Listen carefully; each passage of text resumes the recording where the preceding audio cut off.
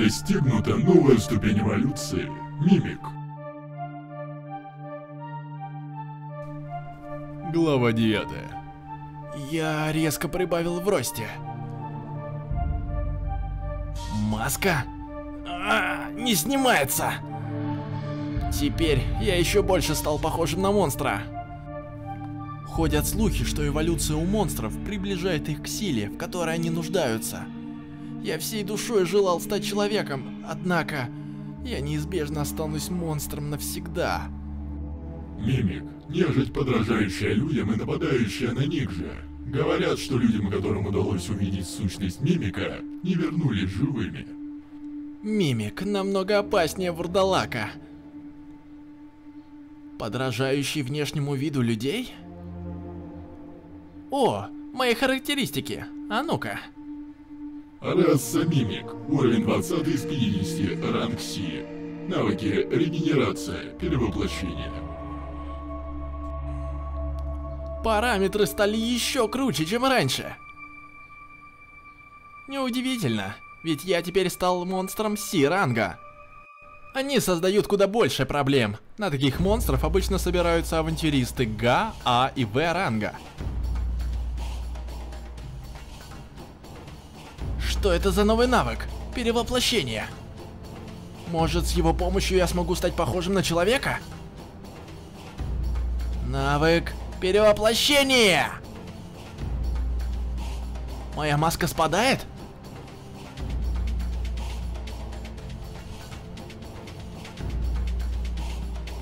А, э, это, это я! А, хриповатый голос, но говорить я уже могу. Если так пойдет, я смогу перевоплощаться в человека еще лучше. Но чем дольше я остаюсь в этой форме, тем быстрее я теряю силы. Сколько этот навык потребляет маны? Навык перевоплощения временно позволяет вам принять человеческий облик. Потребляет одну единицу за 10 минут. Мой максимальный запас 26 единиц. Проще говоря, это 4 часа непримерного использования навыка. В городе я точно не смогу жить с таким лимитом. Тогда мне стоит поднять свой запас маны. Думаю, по мере эволюционирования очки маны тоже становятся больше. Цель ясна, надо продолжать поднимать уровень и не унывать. А? Что за землетрясение? А? Чего? Прекратилось. И что теперь? Неужели перенаселение монстров? Ходят слухи, что в глубоко в подземелье сохранились останки огромного монстра. Пространство, созданное злой маной этого монстра, является подземельем. Аномальные явления, которые происходят в подземельях, не замечали авантюристы. Это и называется перенаселение монстров. Вот почему монстры ранга Си меняют свое привычное место обитания. Нет, должно быть, это только начало. Раса Гаргулия. Уровень 20 из 52. Ранг Си. Как всегда, не вовремя! Черт! Он не сможет атаковать меня без меча и когтей. Выкуси! Из-за моего человеческого облика у меня совсем не осталось сил. Черт! Как же больно!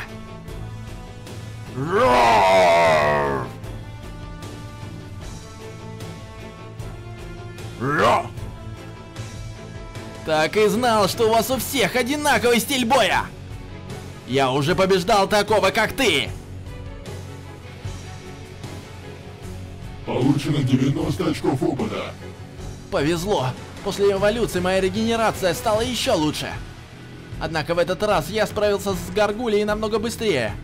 Похоже, добывать уровни станет еще проще. Монстры, конечно, сильны, но безмозглые, в отличие от меня. Тем более, я наконец-то смогу погрузиться глубже в подземелье, ведь стал монстром Си-ранга и теперь устойчив к магической энергии. Чувствую, следующая эволюция будет совсем скоро. Теперь горгульи мне не соперники.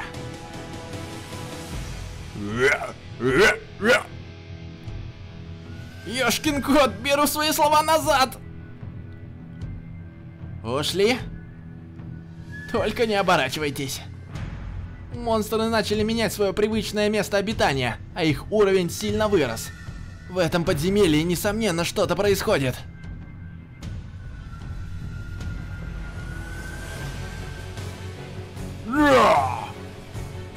Получено 90 очков опыта. Уровень повышен с 20 по 21. А мимики действительно мощные монстры. Вурдалаком я бы так быстро не расправился бы с монстром. Все-таки меня поцарапали? Регенерация. Высокие физические показатели, когти, клыки, выносливость, куча навыков, да и тело куда прочнее человеческого. И следующая эволюция будет аж на 50 уровне. И возможно я наконец-то смогу выйти отсюда. Но все же, кто же мог подумать, что я буду видеть монстров Си-ранга так часто? В этой местности обитали монстры максимум Д-ранга и ниже. А теперь всему виной перенаселение монстров. Это ведь началось еще задолго до появления Огра на территории низкоранговых монстров. Если так пойдет дальше, то монстры выберутся на поверхность и будут терроризировать земли людей. Единственный способ остановить их – это победить главного монстра в подземелье. Сколько проблем. Неизвестно, сколько жертв будет, если перенаселенность монстров достигнет пика. А? Шаги? Это не монстры, это люди! Нет сомнений, причина появления роя Гаргули на таком уровне является перенаселение монстров. Фрэнк Фрей, 20 уровень. Тс. Если это и так, то нам надо вернуться. Гвида, 19 уровень. О чем вы, Гвида? Мы должны одолеть босса до начала катастрофы. Шелли Шульц, 19 уровень. Ох, я влип. Мне лучше как можно быстрее валить отсюда. Их уровень куда выше, чем у группы Кармея. Если сражусь с ними сейчас, точно умру. Вы не думаете, что идти на босса это безумие, только втроем? Численность может со временем выйти из-под контроля. Лучше возможностей, чем сейчас, у нас не будет. А ты уверен, что мы справимся со здешними монстрами, если начался процесс перенаселения? Звучит слишком самоуверенно. Если перенаселенность все же началась, уровень и внешний вид монстров сильно изменился. Глупо идти на босса, не имея никакой информации. А что, если мы добудем ценные материалы с босса и продадим их по высокой цене?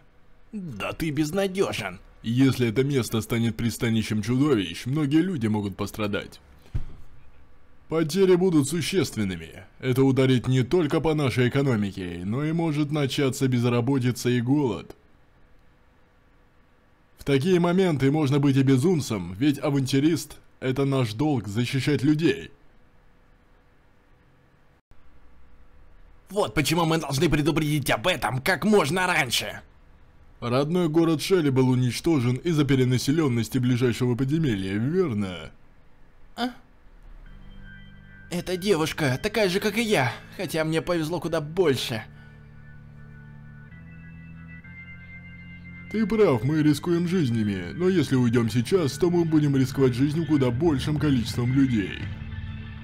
Хе. А? Меня обнаружили! Мой навык, божий глаз охотника, указал на те камни. Там кто-то есть. Если покажусь в таком виде, мне точно придется сражаться с ними. Выбора нет, придется использовать перевоплощение. По моей команде, нападаем вместе. Три, два, один. Перевоплощение! П... Подождите! Я тоже авантюрист! Человек?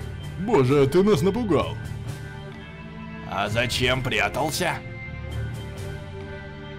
Я подумал, что вы местные бандиты. Сами знаете, как бывает в подземельях. Хм. По голосу он слишком нервничает. Это подозрительно, что он здесь делает совершенно один. Должен ли я стрелять в него? Весь в лохмотьях и излишняя осторожность. Ты непростой авантюрист. Я подумал, что если перевоплощусь в человека, они мне поверят, но... Все оказалось не так просто.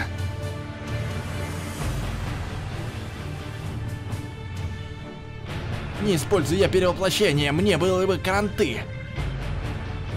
Плохо дело. Если они продолжат меня допрашивать, я не смогу найти нужных ответов на их вопросы. Если так продолжится, они точно нападут на меня. Мне придется проявлять инициативу и бежать. Что же делать? В этом подземелье происходит перенаселенность монстров. Нельзя ходить так в подземелье в одиночку. Ты в порядке? А, ну... Эта девочка совершенно не боится меня? Шелли, отойди от него! Он может быть как раз разбойником! Не существует абсолютно плохих людей, тем более по взгляду я могу определить, он хороший человек. Какая же ты наивная дура! Ты пошел в подземелье в одиночку, без группы? Нет, нет же. Если ты один, мы можем помочь тебе вывести отсюда. Не нужно! П Постой! Гвидо, можешь опустить лук. Он убежал. Все ли с ним в порядке? Ты слишком доверчивая. Тебя любой сможет обдурить. Не говори так. Пусть он и выглядит странно, я не хотела его судить лишь по внешнему виду. Может быть и так, но ты поступила слишком безрассудно. Он мог напасть на тебя. У меня много вопросов к этому парню, ведь он может быть просто обычным преступником, что забежал из города сюда. Я думаю, он вовсе неплохой человек. Драки между людьми в подземелье – опасная вещь для обоих сторон. Даже если он преступник, не думаю, что он хотел ввязаться в драку.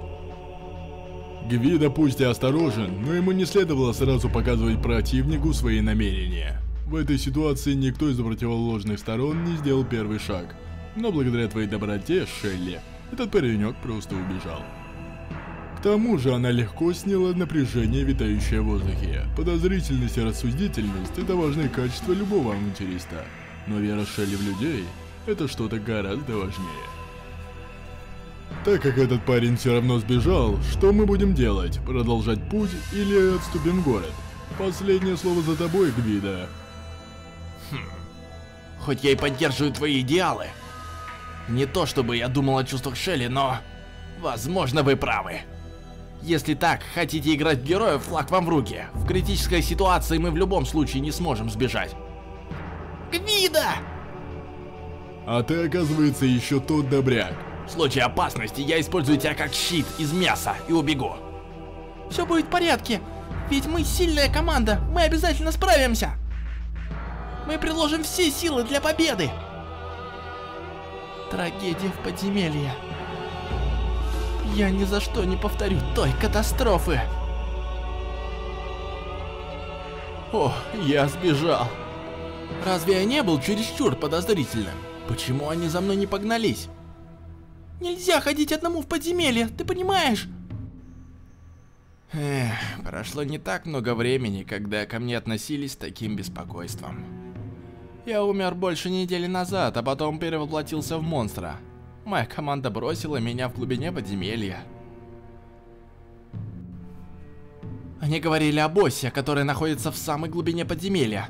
Они правда собираются напасть на него? Хоть они и выглядят намного опытнее, чем группа Кармеи, но втроем они вряд ли смогут победить босса. Нет, я не должен волноваться, это не мои проблемы. В этот раз мне удалось сбежать, но... Если мы снова встретимся, мне придется сражаться. Они пришли в подземелье, будучи уверены в своих силах, в отличие от меня. Я доставлю им проблем. Тем более в человеческой форме я чертовски слаб. Если я покажу им свой истинный облик, они точно нападут на меня. В такие моменты можно быть и безумцем. Мы ведь авантюристы, наш долг защищать людей.